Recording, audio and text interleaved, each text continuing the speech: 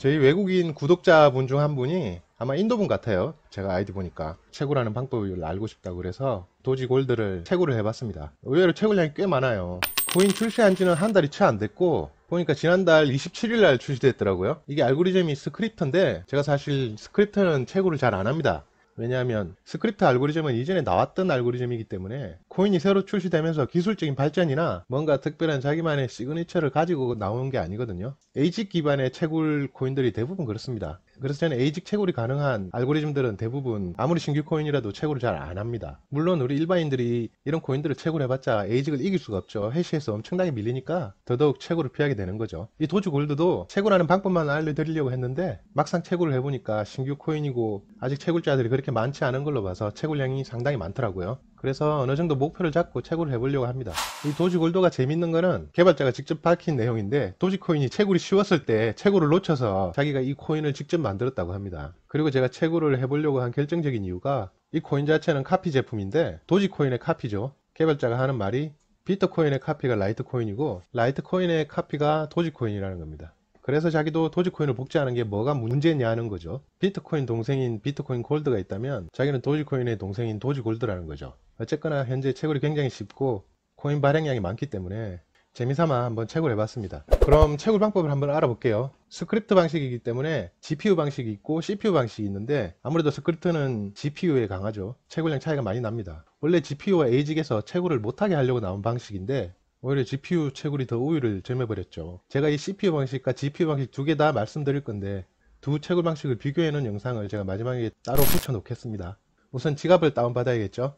홈페이지 들어가시면 바로 옆에 멍멍이 있습니다. 멍멍이 클릭하시고 그리고 GUI 지갑을 다운받아야겠죠. 쓰기 편하게. 이 명령줄 지갑은 CLI 지갑입니다. 지갑에 대한 내용은 제가 따로 영상을 만들어 놨으니까 한번 확인해 보세요. 윈도우 지갑 클릭하시고 다운받아 주시면 되세요. 다운받고 압축을 푸시면 폴더 안에 도지골드 QT라는 지갑 프로그램이 나옵니다. 요거를 더블 클릭해 주시면 지갑이 생성되고 동기화가 시작됩니다. 저는 지금 이미 채굴을 해놨기 때문에 동기화가 완료되고 어느 정도 코인도 쌓여 있습니다. 동기화는 다 될 때까지 기다려 주시면 되고 지갑 주소를 받으시려면 여기 receive 가셔가지고 receive 클릭하시고 지불 요청 지불 요청을 클릭하시면 됩니다. 지불 요청 클릭하시면 이런 QR코드와 주소가 나옵니다. 그러면 나중에 여기 있는 주소를 복사해서 쓰시면 되겠죠. 그 다음 mining 프로그램을 다운받아야 되는데 홈페이지에 mining 프로그램이 없어요. 저도 오랜만에 채굴 하다 보니까 한참 찾았습니다. 제가 miner 프로그램은 따로 링크를 남겨두겠습니다. 거기 타고 들어가셔서 바로 다운받아 쓰시면 되세요. 채굴을 하기 위해서 pool을 선택하고 pool이 몇 개 있긴 한데 그나마 제일 위에 있는 게 가장 활성화되어 있죠. mining pool에 들어가시면 Scrypt에 대한 miner 버전들이 있는데 CGMiner, BFG 이런 건 전부 ASIC입니다. 채굴 양들이 굉장히 많죠. ASIC이 다 잡아먹고 있습니다. 우리가 할 수 있는 건 CCMiner하고 CPU miner 정도입니다. CCMiner는 GPU miner예요. 그래픽 카드로 채굴하는 겁니다. CPU miner는 말 그대로 CPU로 채굴하는 거고요. 그래픽 카드가 채굴량이 더 많기 때문에 우선 CCMiner부터 다운받아서 채굴하는 방법을 알아볼게요. 이 GPU miner인 CCMiner로 채굴을 하기 위해서는 그래픽 카드마다 구동 프로그램이 필요합니다. 저는 지금 엔비디아 지포스를 쓰고 있기 때문에 엔비디아 구동 프로그램인 CUDA를 받아야 됩니다. 구글 가셔서 네이버 가셔도 됩니다. CUDA 검색하시면 CUDA toolkit이 있거든요. 우선 이 CUDA toolkit을 다운받으셔서 내 컴퓨터에 설치를 해주셔야 돼요. 옵션은 컴퓨터 OS에 맞는 옵션을 선택하시고 비트는 32, 64 둘 다 가능한 거죠.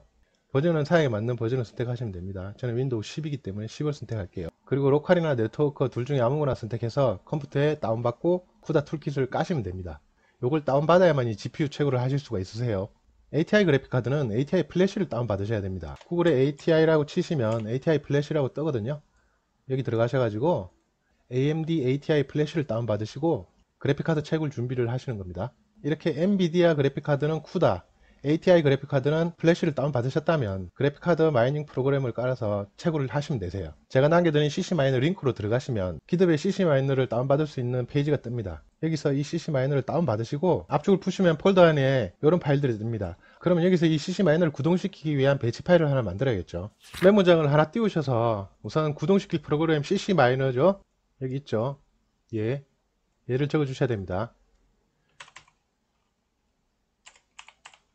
cc x64 그리고 띄우고 그 다음 알고리즘과 풀 주소 개인 지갑 주소를 적어 주셔야 되는데 요거는 풀로 가시면 바로 만들어서 복사할 수 있게끔 세팅을 해놨어요. 지역은 아시아로 하시고 여기서 도지 골드 코인을 체크하시고 아까 주소를 복사해서 여기 붙여넣기 하시면 되세요. rig는 1번 솔로는 안 할 거고 그리고 start mining을 누르시면 이렇게 명령어가 세팅이 됩니다. 그럼 이 명령어를 드래그 하셔서 복사하시고 이 뒤에다가 붙여넣기 하시면 되세요.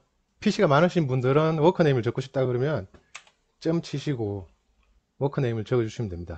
그리고 엔터 치시고 pause 하시면 batch 파일이 완성되셨어요. 그리고 다른 이름으로 저장하셔서 이름을 start 도지골드 batch 파일로 해야 되겠죠?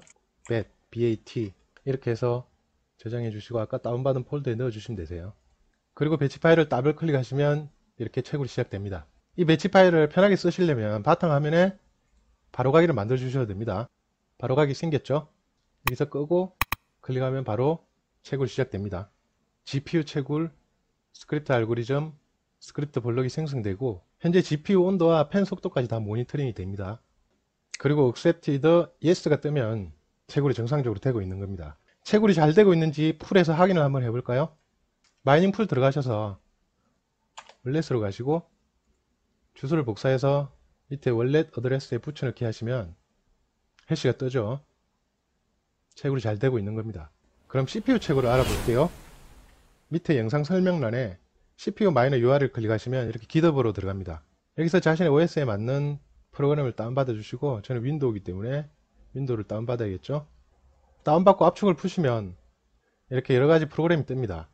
많은 코인들이 있는데 도지골드 batch 파일은 없습니다. 여기에 이 중에 아무거나 자기가 채굴하지 않는 batch 파일 하나 선택하셔가지고 오른 클릭 편집 들어가시면 메모장이 뜨죠.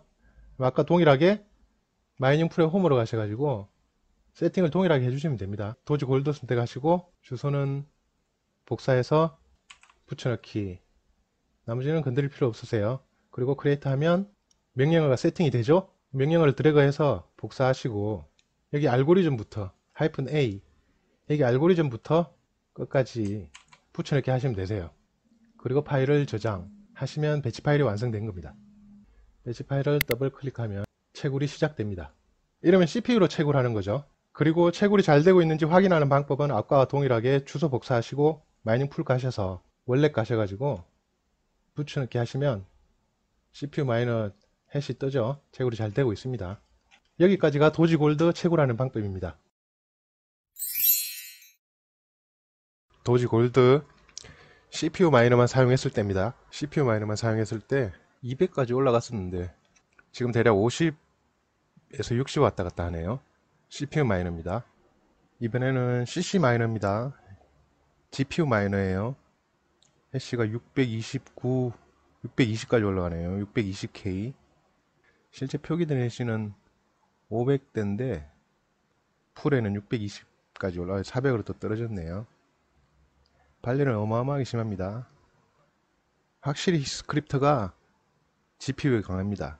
GPU 채굴 못하게 하려고 나온 게 scrypt인데 GPU가 오히려 더 성능이 좋아요. 그 다음은 두 개 같이 놓고 비교 한번 해볼까요? 위에 게 GPU고 밑에 게 CPU입니다. GPU가 400kHz 정도 나오고 CPU가 170kHz 정도 나오네요.